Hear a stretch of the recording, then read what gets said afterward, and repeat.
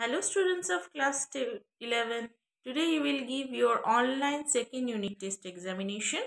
Examination is of 50 marks. First you will get your group A MCQ 11 marks. Then group B answer in brief or answer in short VSQ tab 11 marks.